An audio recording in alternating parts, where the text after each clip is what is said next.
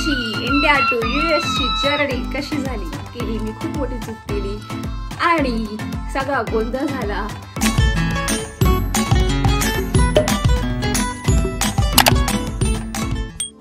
Hello कसे आहात तुम्ही सगळे? मस्त राहा मजेत राहा. आनंदात राहा. आणि हसत राहा. आज खूप दिवसांनी व्हिडिओ बनवते. खूप मध्ये गॅप पडला आणि व्हिडिओ नाही बनवला काही कारण होतं त्यामुळे व्हिडिओ नाही बनवता आला. पण आता परत व्हिडिओ स्टार्ट करायचे आणि आजचा स्पेशल टॉपिक आहे आम्हाला युएसमध्ये येऊन एक वर्ष पूर्ण झालेला सो आमची इंडिया टू युएस ची जर्नी कशी झाली? आज फक्त जर्नी बद्दल सांगणार. नेक्स्ट टाइम पुढच्या टॉपिकमध्ये असेल की युएसमध्ये येताना काय काय घेऊन यायचं ते पुढच्या टॉपिकमध्ये मी कव्हर करेन कारण जर सगळं ह्याच व्हिडिओमध्ये सांगत गेली तर खूप व्हिडिओ लांब होऊन जाईल. आणि तुम्ही पण खूप बोर त्यामुळे आजच्या व्हिडिओमध्ये फक्त फक्त आमची जर्नी. आम्ही कशी जर्नी? आमची कशी जर्नी झाली? एक चूक केली मी खूप मोठी चूक केली. आणि सगळा गोंधळ झाला. खूप चालावं लागलं. तर ते पुढे सांगणार आहे. त्यामुळे तुम्ही शेवटपर्यंत व्हिडिओ बघा. कुठेही जाऊ नका. खूप इंटरेस्टिंग टॉपिक आहे. आणि आणि मम्मा आणि एक तर मी ओळखूच कोणाला तरी ते पण आम्ही सांगणार आहे. कारण श्रेयाकडे खूप मोठे मोठे किस्से आहेत. अ- ते- श्रेयाचे किस्से जर तुम्ही ऐकायला तर तुम्हाला खूप को- खूप मजा येईल. कोणतरी होत? ते ते आम्ही थांबा. ते थांब. आपण पुढे सांगू. आता नाही. आम्ही ते पुढे सांगणार आहे. त्यामुळे तुम्ही व्हिडिओ शेवटपर्यंत बघा. आणि जर चॅनलवर नवीन असाल तर लाईक करा शेअर करा आणि सबस्क्राईब करायला विसरू नका. Press bell icon bell icon press करायला विसरू नका. सो आता आमची जर्नी आम्ही कसा आलो? ते तुम्हाला. आम्ही थोडक्यात सांगतो जास्त मोठं नाही करणार आणि जास्त बोर पण नाही करणार. सो आमची आमची फ्लाईट होती Mumbai airport to U S A so मी मूळची मुंबईची असल्यामुळे आमची फ्लाईट मुंबईवरून बुक झाली होती. आणि मुंबई टू आमचा प्रवास कसा झाला? आणि त्या बिटवीन करोनाचा पिरियड पण चालू होता. तर करोनाच्या पिरियडमुळे आम्हाला आधी तुम्ही आम्हाला टेस्ट करावी लागली. ती टेस्ट आमची निगेटिव्ह आली. त्याच्यानंतर आमची जर्नी सुरू झाली. जर आमची ती पॉझिटिव्ह असली असती तर आम्ही जर्नी करू शकलो नसतो.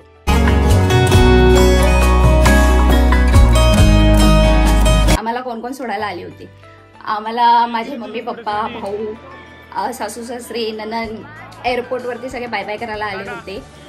प्रशांतचा आत्ते भाऊ आला होता. माझा पण आत्ते भाऊ आला होता. आणि पुढे मग आम्ही सगळ्यांना टाटा बाय बाय केलं. ती व्हिडिओ क्लिप मी पुढे तुम्हाला दाखवणार आहे. की- आणि तेव्हा माहीत नव्हतं. आणि पुढे आतमध्ये मुंबई एअरपोर्टला मला कादंबरीताई आणि निलेश दादांनी खूप हेल्प केली. कारण ते तिकडे दोघंही तिकडेच वर्क करत असल्यामुळे त्यांना पुढे आतमध्ये काय प्रोसेस असते ही सगळी कल्पना होती. सो मला त्या दोघांची खूप हेल्प झाली आतमध्ये.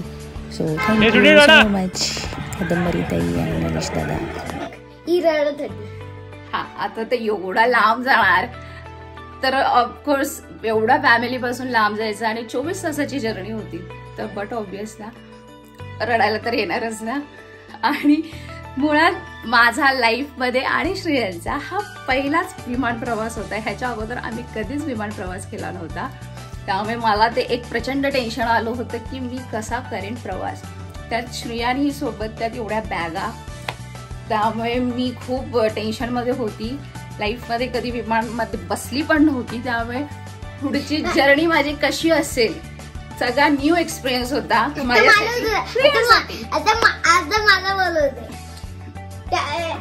आणि ते ते खायचं होतं ना ते मला बिलकुल नाही आवडलं होतं. फक्त एकच आवडलं होतं ते योगट स्ट्रॉबेरी योगट होतं. तेच आवडलं.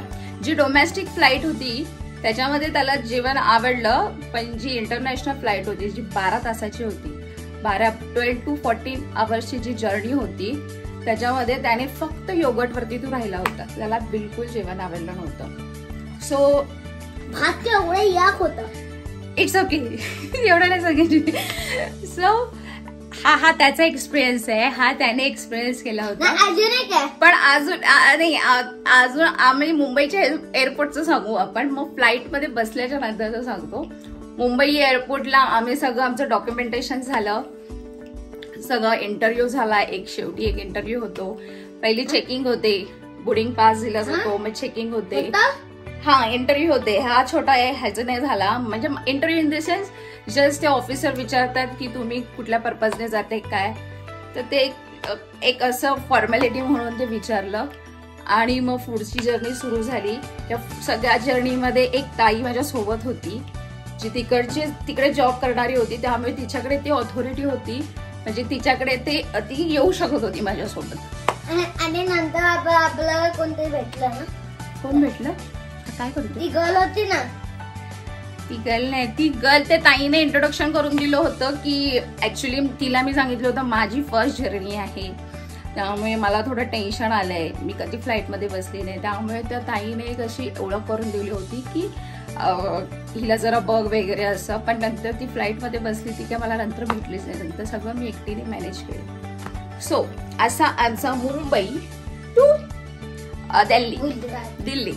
गुजरातला गेली होती पण गुजरातमध्ये आम्ही उतरलो नाही. गुजरातला हॉल्ट होती. म्हणजे कसं होतं Mumbai to Gujarat Gujarat to Delhi so गुजरातला जे होते ते गुजरातला उतरले नाही. तिकडं आपण उतरलो नाही. पण दिल्लीला आपण उतरलो आणि तिकडे एवढं एवढं वॉक करायला लागलं. मी म्हणजे जवळजवळ चार किलोमीटर वॉकिंग असेल.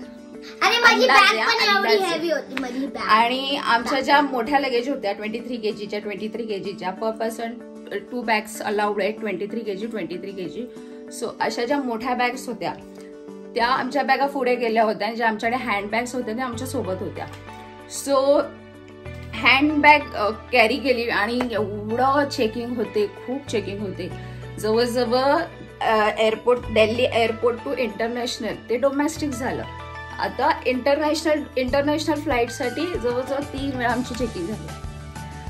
आणि खूप म्हणजे लेडीजचं सेक्शन आलं इवन श्रियान एवढा छोटा असून पण श्रियान वेगळ्या सेक्शन म्हणजे बॉईजच्या सेक्शन मधून जाऊन त्याचीही चेकिंग वेगळी आणि आपले जे काही आपल्या बॅगेत जे इलेक्ट्रॉनिक्स असेल ते सगळं काढून ठेवून द्यायचं असायचं तिकडे. सो चेकिंग फार होते.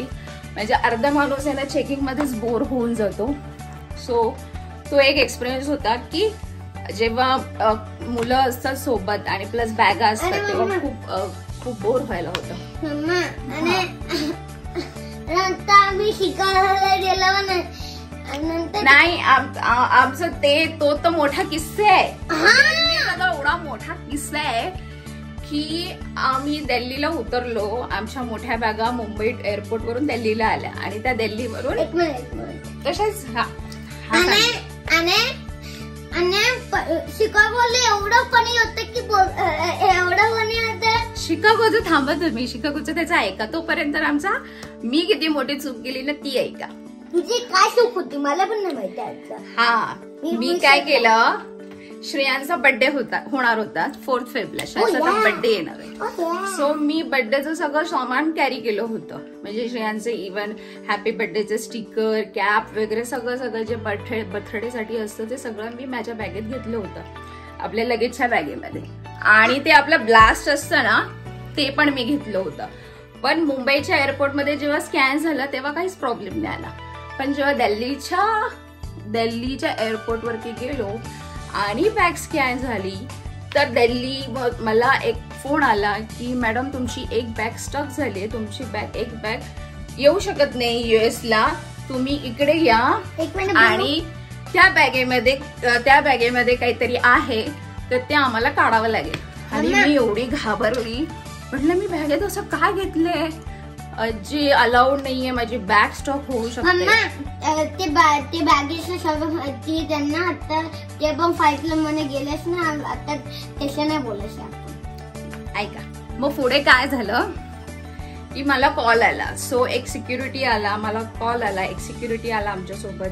की मॅडम तुमची अशी अशी बॅग एक झाली तर तुम्हाला आमच्यासोबत येऊन बॅगचं कुलूप ओपन करावं लागेल आणि ते सामान काढावं लागेल.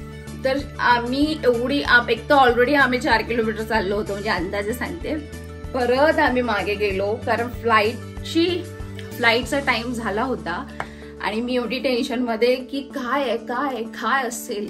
काय असेल काय काय केलं असेल मी कॅरी मुंबईच्या एअरपोर्टवरती असा काही प्रॉब्लेम नाही आला आणि ते दिल्लीलाच कसं काय झाला? पण जेव्हा मी तिकडे गेली बॅग स्कॅन होत होती. तर? आतमध्ये? होतं जे ब्लास्ट असतं बघा आपण जे फोडतो ते फ्लाईटमध्ये अलाउड नाहीये. म्हणजे चाळीस रुपयाच्या वस्तूसाठी आम्ही जवळजवळ पाच सहा किलोमीटर चाललो. सो ती माझी सर्वात मोठी चूक की ते मी कॅरी केलं आणि ते अलाउड नव्हतं. सो मला ते? काढावं लागलं. फ्लाईट मधून त्या बॅग मधून बॅगामधून. आणि पुढे मी सांगू दे ना त्यांना. ते हे मे सांगायचं कारण ह्याच्यासाठीच आहे की तुम्ही कधीही मोठं ट्रॅव्हल कर म्हणजे माझ्यासाठी जो माझा अनुभव आला तो तुम्हाला सांगते. शेवटी हा टॉपिक त्याच्यावरतीच आहे की आमचा विमान प्रवास मुंबई टू त्या युएसए हा कसा झाला? तर हा एक मोठा किस्सा होता. सो मग नंतर आम्हाला आम्ही मी ते सा ते त्यांनी काढून घेतलं आणि मग मी माझी बॅग लॉक केली. आणि मग ते बोलले की मॅडम आता तुमची बॅग ओके आहे पूर्णपणे. तुमच्यासोबत जायला पुढे आम्ही तुमची बॅग ही पाठवून देतो. आणि अशी ती माझी बॅग माझ्यासोबत पुढे आली. आणि ते. नंतर त्या गार्डने पण आम्हाला म- मी खूप टेन्शनमध्ये होते पण गार्ड बोलला की मॅडम तुमची फ्लाईट मिस नाही होणार. आम्ही म्हणजे आमच्याकडे तसं असतं की आम्ही थांबू शकतो फ्लाईटला जर एक कुठल्या पॅसेंजरचं असं काही झालं असेल सो तेव्हा मला कुठेतरी धीर लागला की हा बाबा ओके.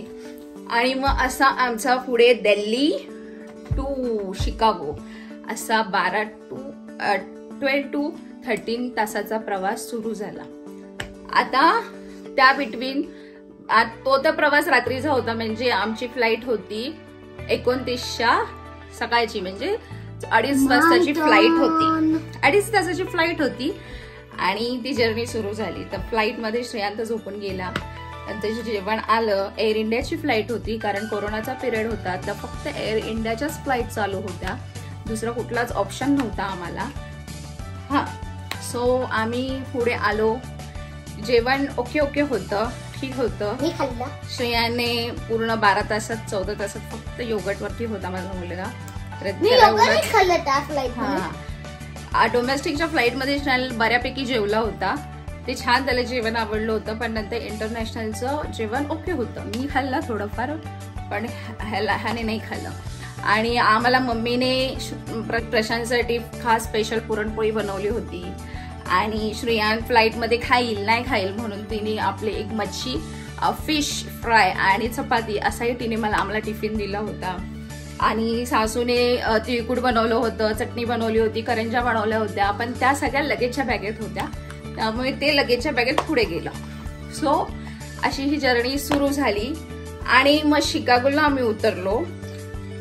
आणि शिकागोचा मोठा किस्सा आहे. तो श्रेया सांगेल तुम्हाला. फायनली मी मी मी मी- तेव्हा कुठेतरी बाहेर बघत होता. अ, बा- बाहेरचं ते शिकायचं स्नो खूप स्नो पडला होता है ना श्रेया? आणि मम्मी कोणाला तरी ब्लॅक करायचं कोणाला तरी बोललं बघितलं. आणि नंतर मी बोललं कोण आहे? कोण आहे? मम्मी डॅडी होता. डॅडी होता. म्हणजे श्रेयाल श्रेयालने लिटरली श्रेयाला काही समजलंच नाही की डॅडी आहे म्हणून. श्रेया असं असं शो असं शोधत होता. आणि आम्ही म्हटलं अरे डॅडी डॅडी तो तेव्हा मग एवढा खुश झाला आणि तेव्हा त्याने दोघांनी मिठी मारली. पण तोपर्यंत तो शोधतच होता आणि त्याने जवळजवळ दीड वर्षाने त्याच्या पप्पाला त्याच्या डॅडीला पाहिलं होतं. आणि जेव्हा आम्ही उतरलो त्याच्यानंतर आम्ही आजूबाजूला चारही दिशा फक्त आणि फक्त स्नो दिसत होता. एवढा प्रचंड स्नो होता. म्हणजे मायनसमध्ये मायनसमध्ये तापमान होतं आणि आम्हाला आमच्या लाईफमध्ये पहिल्यांदा तो अनुभव होता की एवढं आम्ही स्नो स्नो स्नो पाहिला होता. खूप खूप मजा आली. खूप जर्नी छान झाली.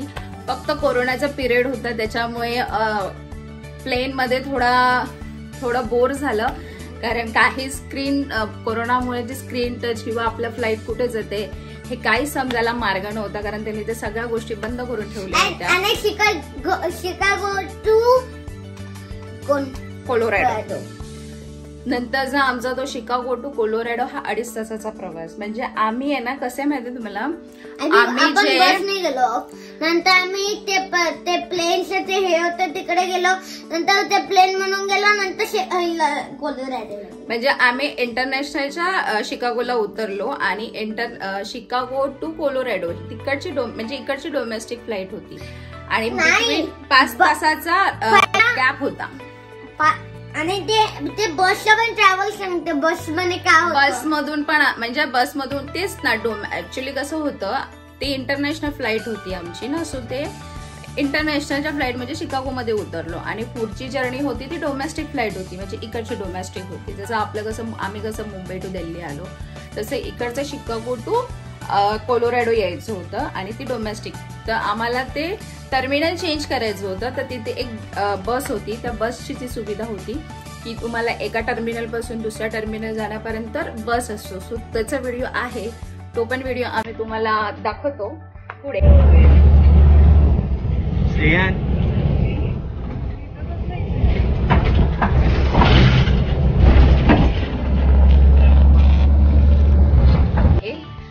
सो आणि तुम्हाला दिसेल खूप सगळीकडे चारही दिशाकडे स्नो स्नो स्नो स्नो होतं. आणि बाहेर गेलं तर. लिटरली म्हणजे मी मी माझा लाईफ मधले पहिला अनुभव श्रेयांचाही पहिला. म्हणजे माझे हा आणि माझे ना हात हात असे क्रॅक क्रॅक क्रॅक क्रॅक पडले. म्हणजे हा हा असे लिटरली आता बघ क्रॅक. पडले. सो खूप खूपच थंडी होती. मी हँड ग्लोव्स घातलं नव्हतं काही कल्पना नव्हती की बाहेर गेल्यावरती आता पण म्हणजे हा पिरियड जो असतो ना डिसेंबर टू फेब्रुवारी एप्रिल पर्यंतचा किंवा मार्च पर्यंतचा पकडून झाला. सो हा पिरियड खूप थंडीचा महिना असतो इथे. हे महिने थंडीचे असतात आणि बाहेर. हा खूप थंडी असते. म्हणजे मायनसमध्ये असतं. मायनस टेन मायनस ट्वेंटी पर्यंत असू शक असतच. सो हा आमचा अमेरिका मुंबई टू अमेरिकेचा आमचा विमान प्रवास. तुम्हाला कसा वाटला? लाईक करा आम्हाला कमेंट करून सांगा आणि लाईक करा शेअर करा आणि सबस्क्राईब करायला विसरू नका आणि एक माझा एक चॅनल आहे. श्रेयांचा मी नवीन चॅनल ओपन करणार आहे. त्याच्या बर्थडेच्या दिवशी त्याचा बर्थडे येणार आहे फोर्थ फेबला सो त्या दिवशी त्या त्या दिवशी मी त्याचं चॅनल ओपन करणार आहे. फक्त श्रेयांस श्रेयांशी फक्त श्रेयांची ऍक्टिव्हिटी ते मी अपलोड करणार आहे. त्यात. नाव. श्रेयांस स्मार्ट हा.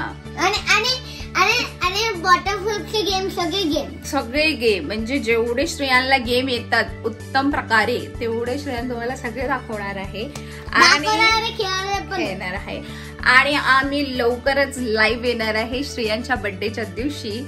श्रेयांचा बर्थडे आहे चार फेबला तर तुम्ही नक्की श्रेयांचा बर्थडे सेलिब्रेशन करण्यासाठी आमच्यासोबत लाईव्ह आम्हाला जॉईन व्हा. आणि श्रेयांना खूप सारे आणि विशेष किती द्या. लाईक देऊया खूप सारे विशेष द्या ओके आणि how So- many like How one many thousand one thousand and खूप टेन लाइक करा आणि सब्सक्राइब करा सब्सक्राइब करे फ्री है तो सब्सक्राइब कीजिए I 110 like, please. Thank you for watching and keep smiling. Be happy always. Stay tuned. Love you all. Bye bye. Bye. सदा यहाँ